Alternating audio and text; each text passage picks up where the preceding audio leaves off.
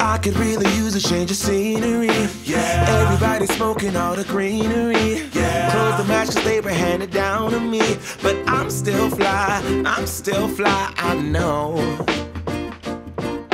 Say it with your chest now, say it with your chest now. I'm young, I'm free. Can't nobody take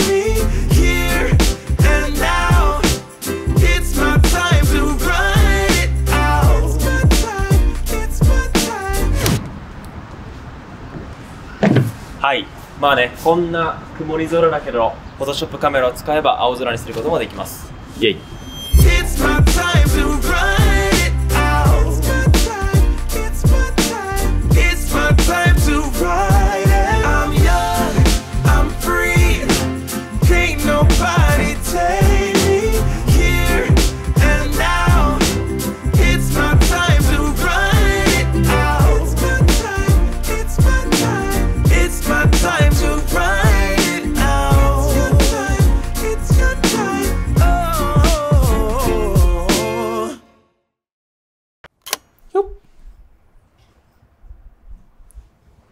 ベル一緒に。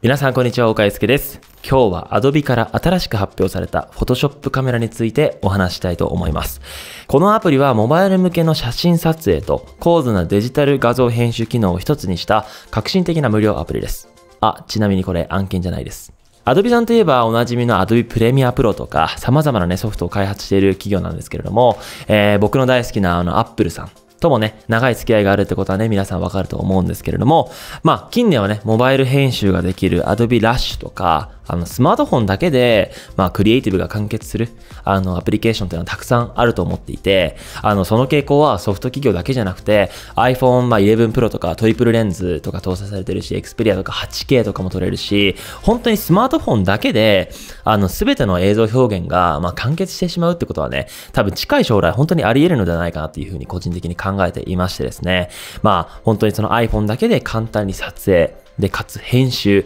で、SNS に思い出としてシェアするっていう、まあ、この健全なね、SNS の使い方が、まあ、本当に、まあ、本質的なものだと思っているし、これをね、全国民に今伝えたいと思ってるんですけれども、まあ、そこちょっとね、あまり深掘りせずにお話ししようと思っています。とりあえず、Photoshop カメラが、まあ、やばいんですよ。あの、すごいとかじゃなくて、やばいです。あの、そのね、やばいポイントは3つあります。まず、めちゃくちゃ簡単。で、もう1つ目が、レンズが豊富。3つ目、クリエイティブ。っていうことですね。まあ、本当にこれ、もう簡単でクリエイティブっていう、まあ、この2つ目のレンズが豊富ってものは、この1つ目と3つ目にあの結びついてるんですけれども、まあ、1つずつ、えー簡単に解説していこうと思います。まあ、実際にね、このアプリケーションを見ながらやっていこうと思うんですけれども、えーめちゃくちゃ簡単っていうものは、もう本当簡単なんですよ。これ、あの、基本的にアプリケーションは無料です。僕も今まで iPhone で様々なソフトを紹介してきたんですけれども、まあ、有料なものから、アプリ内課金があるものからたくさんあるんですけれども、この Photoshop メラに関しては、あの、無料でお使いになれます。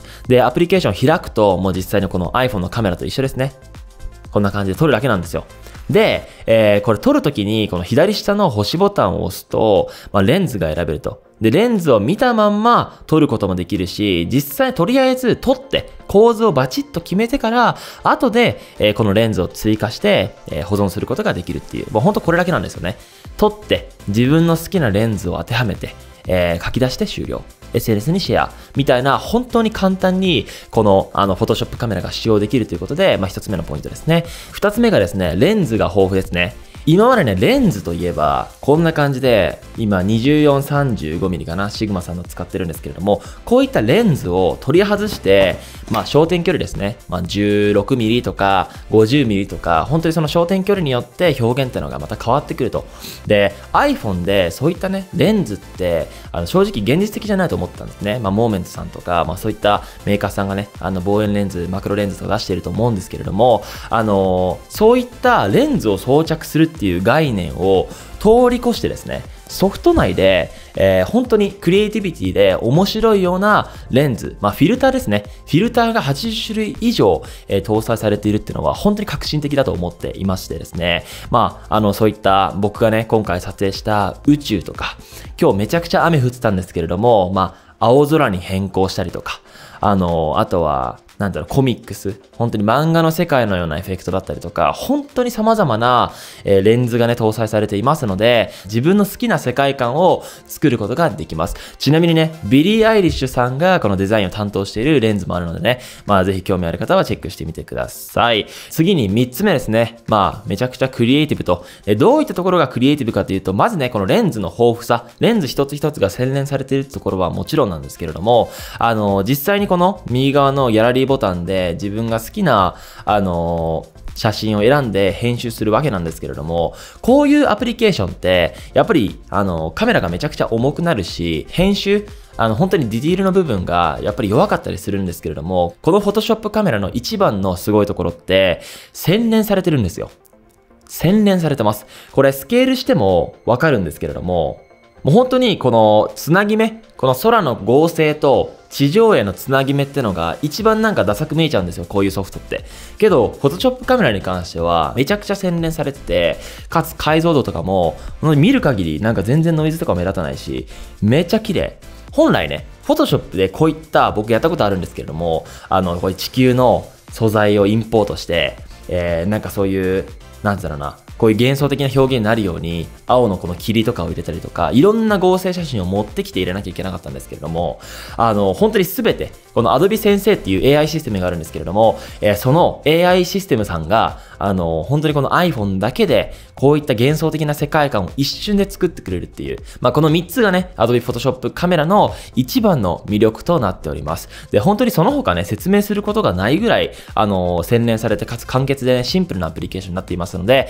まあ、ぜひこの動画見た方、えー皆さんね、アプリケーションで Photoshop カメラと調べて、えーぜひ、えーダウンロードしていただけたらと思っております。で、今回はですね、あの、僕はね、動画クリエイターなんで、あの、フォトショップカメラって基本的に写真だけなんですよ。けど動画ってのは写真の、ま、集合体であって、まあ、1秒間24枚、30枚のフレーム数なんですよね。なので僕はこの Photoshop カメラめっちゃ携帯重くなってめっちゃきつかったんですけれども、基本的に連写しまくって、それをつなげていい感じにね、冒頭のイメージ動画作らせていただいたんですけれども、まあぜひね、あの写真じゃ物足りないよっていうこの動画を見ている動画クリエイターの皆さんも、あのたくさん連写して、ちょっと編集めっちゃ大変ですけれども、あの使用していただけたらと思っております。で、今後ね、この Photoshop カメラに期待する、まあ、動画クリエイターの僕のね、えー意見をちょっとお伝えしますと、あの、まあ、Adobe Rush っていうスマートフォンとかで、あの、編集できるソフトウェアがあるんですけど、まあ、この Photoshop カメラで、まあ、動画撮影とかタイムラプス撮影をちょっとしてもらって、まあ、現時点で多分、Adobe Premiere Rush には移行するのはちょっと難しそうなので、まあ、そういったね、機能が搭載されると、めちゃくちゃ嬉しいと思いますので、ぜひよろしくお願いいたします、Adobe さん。